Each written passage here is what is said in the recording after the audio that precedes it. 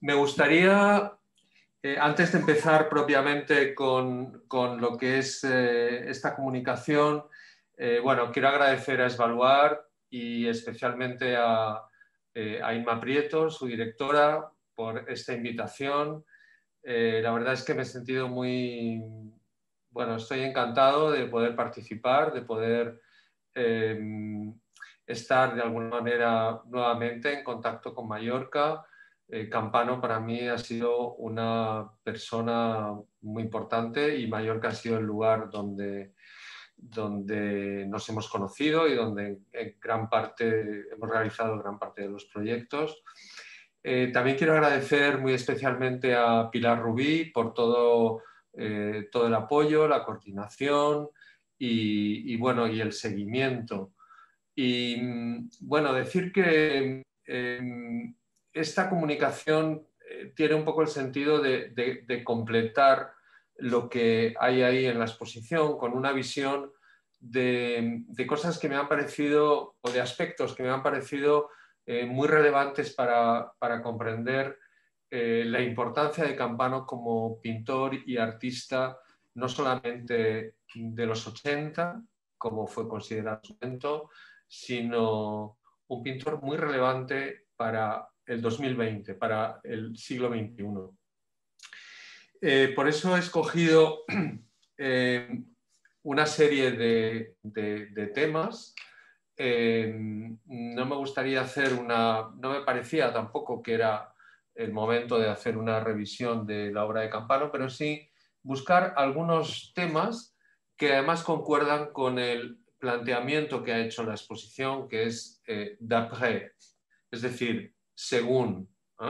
Eh, d'après es la, expresión francesa, como todos sabéis, que indica cuando eh, un pintor realiza una pintura o una obra interpretando la obra de un maestro antiguo o de un maestro anterior que permite entonces plantear eh, eh, una revisión de esas cuestiones estilísticas o temáticas. Em, me parecía que decir algunas veces que en la exposición era relevante también para hacer las conexiones.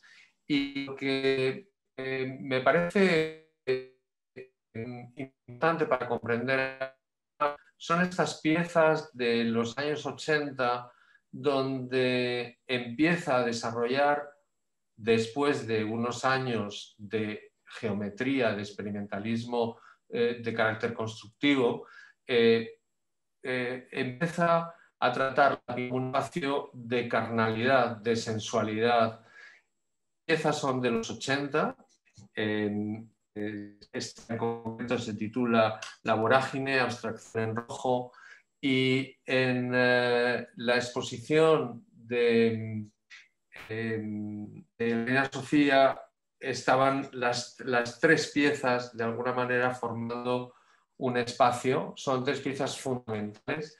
Esta es eh, la, titulada El puente, es amarillo, y eh, aquí tenemos las cuatro con la primera, la, de aquí de arriba, titulada Rhythm and Blues, La vorágine y El puente.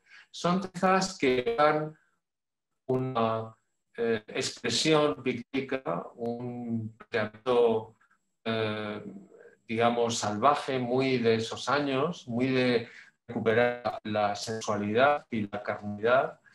Eh, y era, ese aspecto era fundamental para Campano, porque de alguna forma como un proceso de vida. No había diferencia entre la pintura y la vida, todo estaba de la pintura. Y eh, esa manera de entender la pintura nos va a explicar también eh, muchas cosas. Quería plantear estas, estas tres piezas porque visité la exposición de Pano en, en Madrid, en el Reina Sofía, varias veces, y esta sala, la sala donde estaban estas tres piezas, que nunca había tenido ocasión de ver juntas, eh, en alguna ocasión hemos intentado, como no fue imposible, eh, en un proyecto de Granada que hablaremos, hablaremos de esta vorágine, empieza en rojo, no estuvo esa villa, eh, pero nunca estuvieron las tres. Y esa pequeña sala para mí fue eh, absolutamente un espacio no tanto de meditación, sino de excitación y sobre todo de ir pasando de pieza a otra para ver el nervio, probar ese nervio pictórico que tenía Campana. Eh, nuestra pieza nos va a inducir el, el Misal, y es un en el que empieza años a venir a Mallorca, aunque eh, de manera más esporádica, a través de, de amigos valencianos. El estudié en Valencia un eh, gran amigo suyo, eh, Nicolás Sánchez Durá, eh, fue también un compañero de recorrido y un interlocutor enormemente fértil. y a través de, Nicolás él, llegó aquí, llegó a, Mallorca. Mistral nos introduce, proviene de ese mismo de esa misma gestualidad, ese mismo expresionismo eh, que estaba presente en las piezas anteriores y nos va a introducir a un mundo de referencias. Eh, las referencias van a estar siempre presentes en, eh, Campano. Esta es la vocalera y pertenece a una serie de los primeros años 80 las vocales. Eh, es una serie que se inspira, además, en el poema Bambó, eh, Voyer, vocales, eh, en las que las vocales tienen un... Y entonces hay un ejercicio, digamos, este poético. Esta es la A negra, aunque en el poema, en realidad, las vocales son femeninas y el color es masculino. Por tanto, eh, Rambo lo que dice es eh, A negro, blanco, I rojo, verde o azul. el poema es un poema fundamental y eh, fue uno de los que nos sirvió en uh, Granada para articular diálogo, porque Miguel Ángel le gustaba lugar, le gustaba conversar y esos diálogos se estableció con, eh, con, con, amigos, con colegas, con pintores de su generación, pero también los estableció con la cultura, con una cultura a que él eh, sacaba de los libros para traerla a su estudio, para traerla a sus lienzos. Eh, la primera el primer intento, digamos, de interlocución y de diálogo lo hizo con este cuadro que se titula El eh, y en una victoria el gran maestro del clasicismo francés, un pintor eh, de alguna manera muy literario, eh, estudió con, gran detenimiento Anthony Blunt, que era eh, un personaje eh, fascinante, hay además libros, artículos sobre él, fue descubierto como un día en plena Guerra Fría, como un espía para la Unión Soviética, siendo el conservador de arte de la reina de Inglaterra. Y Anthony Blunt fue el mejor estudio a, a Realiza eh, eh, cuadros eh, a los que titula La explotación. Cuatro cuadros ¿no? que este y que se corresponde con el vídeo. Son cuadros que están en y cuando Miguel Ángel Campano estuvo en, en en esos años, en esos años 80, eh, frecuentaba el Louvre y eh, quedó fascinado con Poussin. La verdad es que a mí siempre, yo siempre le pregunto por qué Poussin, porque Poussin eh, no deja eh, de ser tocante para una sensibilidad como la que podemos escribir a una personalidad como la de Campano. los cuadros de Poussin eh, están llenos de pequeñas anécdotas, no son con una eh, posición compacta, sino que parten pequeñas anécdotas que hacen el conjunto. Y vemos el diluvio, creo que volvéis a ver el diluvio campano. Pieza probablemente fundamental para comprender la pintura en Europa en ese momento y sobre todo la fascinación de los pintores de los 80, a los que en muchas ocasiones se consideró como eh, meramente intuitivos, como eh, eh, intuitivos, experiencialistas, eh, superficiales, en el fondo. sin embargo, plantean opciones de diálogo con la atracción pictórica como nunca se había hecho antes. Hay muchos ejemplos, tanto en, los pintores italianos de los 80, desde Cucchi o Clemente, hasta los pintores alemanes pero en España eso eh, ha sido eh, muy eh, visionario y ha plantado esos diálogos no tanto para exaltar los mundos en los que como para establecer su punto de vista de la pintura. Y una de las cosas que, hablamos, yo le preguntaba, ¿por qué Poussin? Porque a mí siempre me, me, intrigaba. Su intento por interpretar eh, ese diálogo era el poder volver al espectador el impacto que había tenido para él la primera mirada de aquellos cuadros.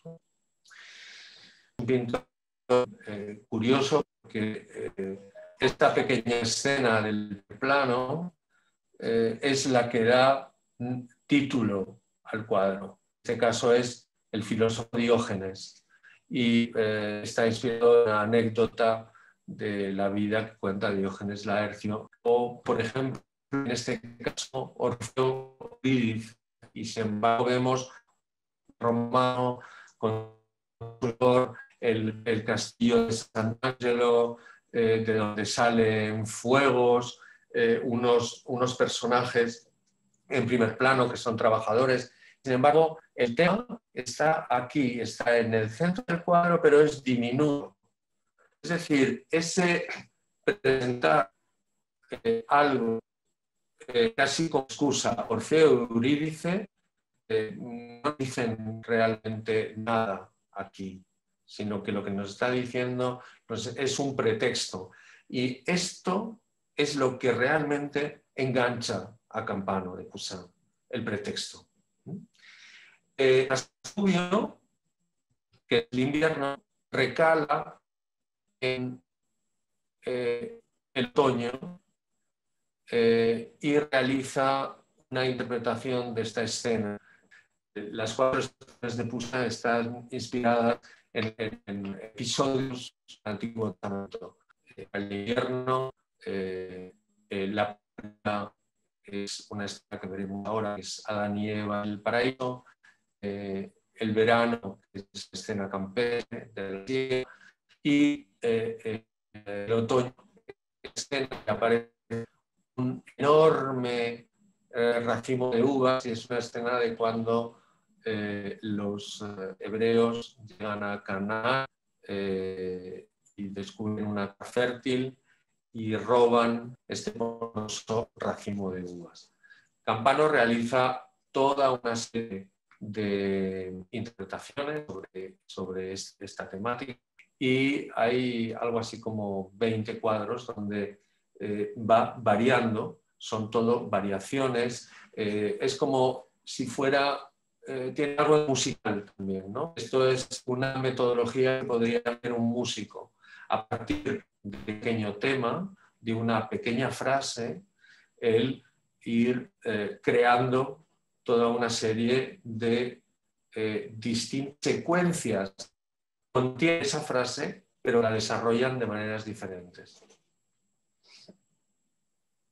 es el, cuadro de la pera, que es el único que no habló, quedó, digamos, fuera.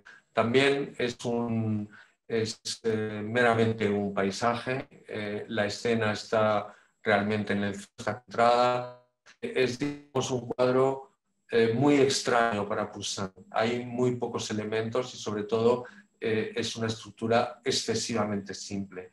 Quizás por eso Campano lo dejó a un lado algunos ejemplos, este es el fragmento paisaje y esta idea también del árbol. Eh, siempre la historia va a ser la misma, un edificio, una casa y el árbol. El gaitero.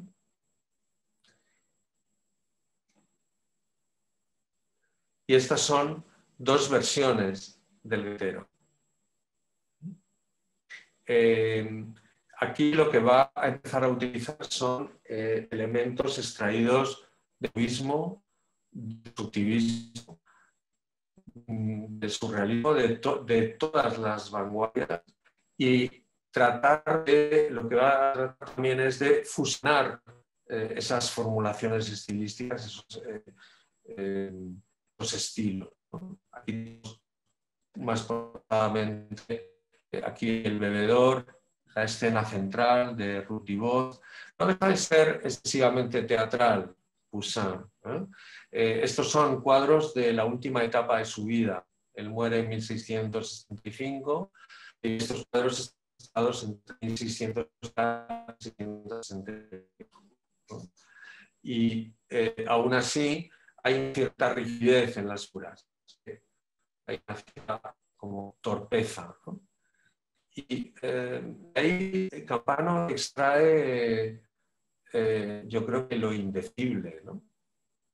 Mm, lo que está es tomar como eh, presto a para hacer un análisis absolutamente de estilo, de la forma, de los equilibrios, los recursos que tienen Em, y más eh, está planteando eh, eh, bueno, la construcción de un universo propio.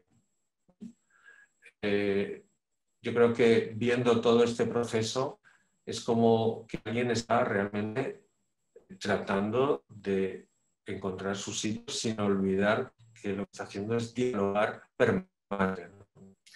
Esta es la figura de lancero. Y quiero que recordéis esta figura porque la vamos a, volver a ver de una manera casi eh, va a desaparecer la parte propiamente representativa. Aquí tenemos la persona que está sirviendo la comida. Estaba medio oculta detrás de un, eh, de un árbol y estas son dos versiones interpretación de esta, eh, mujer. Eh, toda esta serie de cuadros tienen más o menos la misma dimensión. Es, una dimensión media, son cuadros medianos. Eh, es verdad que los, las escenas completas son más grandes. Tenemos una escena, perdón, una sala de exposición donde aparecen tres personajes. Eh, la tela central es el lancero. Y aquí ya estamos hacia un, en un punto de absoluta depuración formal. Este, esta forma, el, tercer cuadro de la, pared, es un, cuadro eh, que de alguna manera está eh, definiendo esa postura arrodillada de Ruth o podría ser también un segador. Empieza ya a haber esta eh, distorsión y poco a poco vamos a llegar a esta exposición, que es una exposición que él realiza en eh, la Galería Mayor de Poyensa. dentro de un momento vamos a poder eh, compartir mesa con, con Geno Martínez, fundadora de la galería, que fue quien de alguna manera propulsó este momento de Campano. Campano, con esta exposición, marca un corte completo eh, con Voz, con toda esa parte de diálogo con Poussin, pero si lo vemos detenidamente, lo que hay es realmente una transición, un desarrollo, no es un corte. Estos son los cuadros del 93, eh, pero aquí volvemos a ver em, esas, formas que había depurado en el proceso de Rutilov. Esta es una vista de sala de la, parece que es de la exposición del Reina Sofía, donde eh, esos elementos estructurales, eh, sintéticos, van abriendo paso a otra concepción más más global y también más, eh, al ser menos represiva, al no estar ya, digamos, la, huella de ese diálogo, se transforman en, espacios realmente corporales. Pero, si os fijáis, hay también un cierto diálogo con Franz Klein, un pintor que trabajó enormemente el, eh, eh, el blanco y el negro, sobre todo el negro sobre blanco. Campano va a estar en esa tensión de depuración absoluta. Después de esa inmersión en el barroco, en el clasicismo de Poussin, llega a estos espacios blancos donde, em, eh, donde la, imprimación del, negro es eh, durísima, hay algunos, eh, algunas verdaderamente eh, de esta serie. Esta es una imagen de posición eh, inmediatamente anterior a la, de, a la que hemos visto del catálogo y yo creo que fue, esta fue quizás la primera exposición en, en Mayor. Probablemente Jero luego nos puede concretar. Eh, y bueno, me parecía importante también que fue un momento verdaderamente eh, brillante en el que Miguel Ángel trabajaba también eh, grandes papeles. Si os fijáis, esta pieza que hay en el fondo es un papel y está todavía ligado a ese mundo de Rutivoz. Esto es una montaña y es un paisaje, digamos, estilizado, reducido hasta el máximo. Otro proyecto de diálogo, también con, una cierta distancia, es este proyecto al que titula, titula Etas eh, d'après Buren. Este fue un proyecto que realizó Campana eh, con Jero Martínez y también con, eh, con su marido, eh, el artista Amador Margrané, eh, en Poyensa. fue un proyecto que se pensó también para llevar al Palacio Velázquez en, el, en 1999 y que ocupó toda una, ala de las eh, de ese magnífico espacio en el Retiro, en Madrid, y eran eh, las dos torres mm, eh, laterales totalmente cubiertas con estas, con estas de, puntos. El proyecto ha tenido un gran recorrido. Es una imagen de la exposición que se realizó mm, y por último, quería traer a esta mesa un proyecto que yo fui comisario y que eh, fue un proyecto verdaderamente muy emotivo. Eh, fue en el Centro Guerrero y fue un proyecto de alguna forma de encargo y de diálogo con Guerrero, con José Guerrero. José Guerrero fue eh, un interlocutor para Miguel Ángel Campano y para toda una generación de pintores que en, los años 70, 70, 80 estaban huérfanos de maestros o de grandes maestros pintores. Guerrero ha sido un pintor que influyó mucho en Campano y que mm, tenía eh, el gran valor de haber estado, haber sido al grupo de los expresionistas abstractos. Eh, estuvo en Nueva York, estuvo en ese círculo, eh, volvió a España después de, durante la transición, después de la muerte de Franco, aunque ya había venido ocasionalmente, pero ya se establece en Madrid.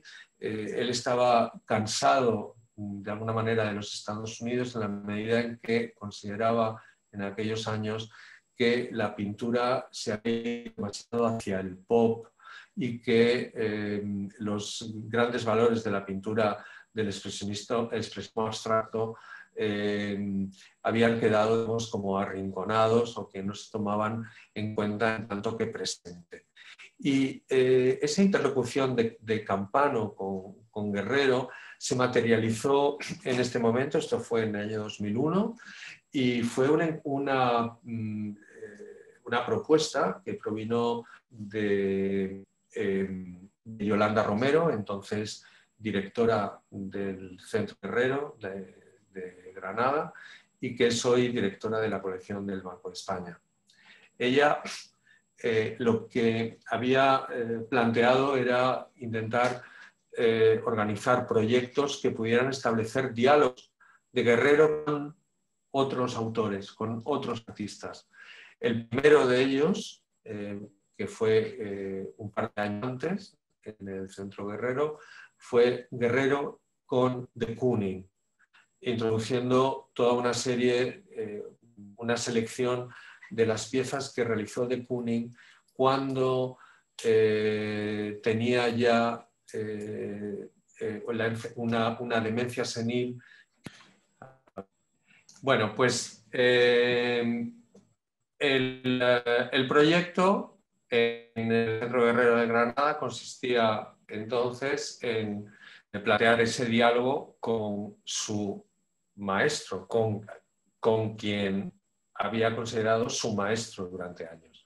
Guerrero había fallecido hacía tiempo, pero hubo una conexión inmediatamente directa con eh, su hija Lisa, eh, que era psicóloga, pero que se estaba ocupando eh, muchísimo del legado del padre y, de, la mm, programación también de Centro Guerrero.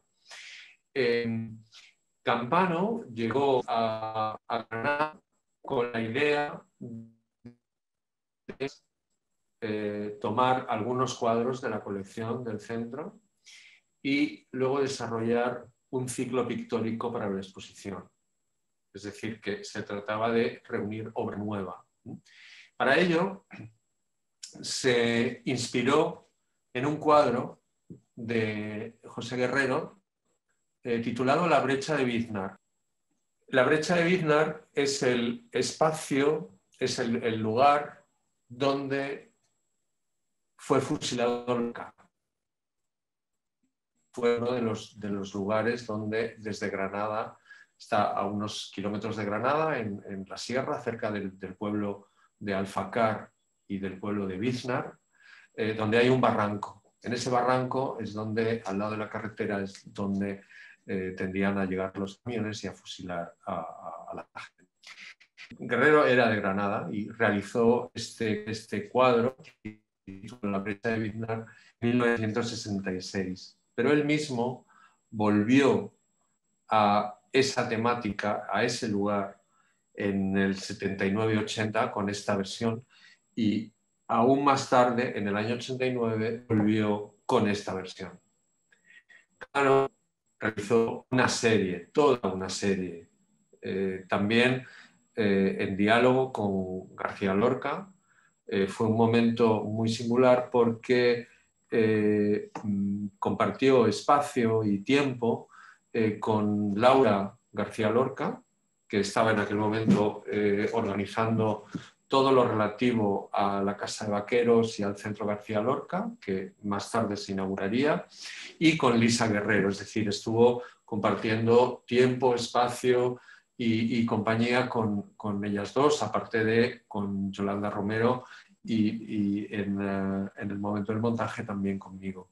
Ese, eh, ese ciclo es eh, un ciclo, digamos, de homenaje a Guerrero eh, los cuadros eh, son muy no tienen nada que ver con nada de lo que hubiera hecho antes Campano. De alguna manera estamos ante también un proceso de transición. Es, digamos, un proyecto específicamente pensado para Granada, pensando en Granada, pensando en Guerrero y pensando en ese contexto eh, para él desconocido, era eh, la primera vez que, iba a, esos, lugares. Si os fijáis, por ejemplo, en este cuadro central hay algunas referencias directas a esa estructura de, de, la brecha de Biznar de Guerrero. Eh, el cuadro de la flor está dedicado más a García Lorca y de alguna manera me interesaba esta imagen que es de la exposición en el Reina Sofía por esa eh, cercanía y ese diálogo Guerrero y García Lorca, eh, también el momento en el que, o el lugar, el lugar donde, donde es asesinado el poeta. Y, y bueno, eso concluyo. Únicamente decir también una exposición en la Galería eh, eh en 2014 eh, que también me impresionó mucho, donde el eh, planteamiento pictórico además empieza a, ser em, de grandes tamaños y borrados. Me interesó mucho esa idea de, de, de visualizar la imagen, la vorágine, la abstracción en rojo, esto es en el Centro Guerrero, eh, en la exposición Rojo de Cadmio nunca muere, eh, y comparándolo con la pieza de, Guerrero, lo que vemos es esa eh, sintonía, ¿no? ese cómo no se iba a sentir alumno o cómo no iba a sentir campano maestro a Guerrero, viendo esa sintonía que hay entre la pintura eh, de uno y otro. Eh, yo creo que ese momento fue importantísimo para, para, Campano, porque era también el reconocimiento a un maestro que él había conocido. Ya no se trataba de alguien lejano, sino de alguien enormemente cercano y con quien establecía también una, una gran deuda. Hay algunos escritos eh, en el blog de El Centro Guerrero hay un pequeño escrito de Yolanda Romeo. Os invito a que entréis y, lo, leáis porque es un poco el resumen de, esos días. Lo que más, eh, nada más llegar, lo que cuenta Yolanda eh, Romero en ese escrito es que eh, la primera vez que llegó Campano a Granada, lo que quería es no ir al hotel a sino ir directamente a ver el paisaje de la brecha de Biznar. ¿no? que era con lo que se iba a tener que enfrentar, pero desde el cuadro de Guerrero. Y con esto eh, vamos a, concluir aquí. Confío que, eh, que os haya sido de, utilidad esta interpretación de, Campano y sobre todo estas claves eh, para, bueno, para apreciar en, en estos pocos días que quedan todavía para, ver la exposición, pues eh, de, evaluar. Y nada, pues muchas gracias y esperamos, ahora vamos a dar paso a esta mesa redonda. Gracias.